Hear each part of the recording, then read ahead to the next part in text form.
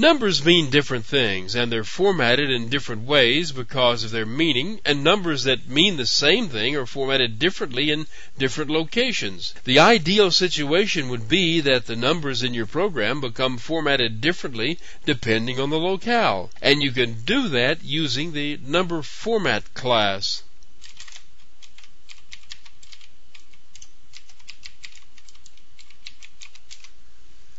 Now, here are the two numbers that this program is going to format.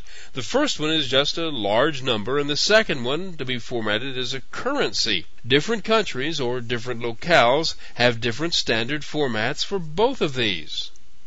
The number format class is an abstract class, so it can't be instantiated directly. However, it has some get instance methods that return instantiations of it for different types of numbers and different locales. Now this call to get instance without an argument specified is for the default locale of the local computer. In this case, the locale is US and it formats the numbers accordingly.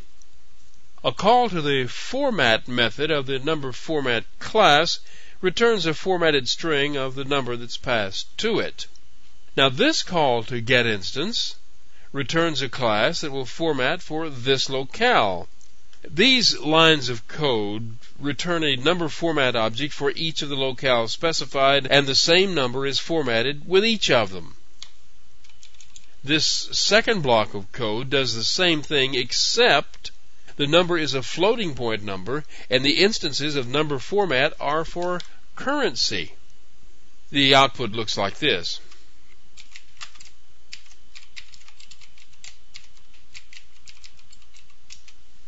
At the top, the numbers are grouped with commas and others are grouped with periods, but the layout of the numbers is about the same.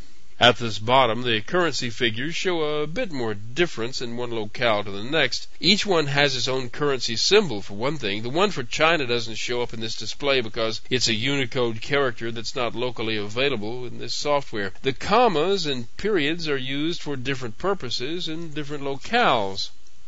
And these are not the only possibilities. You will find get instance methods for integers and other types of numbers, such as percentages, and for other locales. If your program is going to be used in other locales, it would be the best way to format all of your numeric values.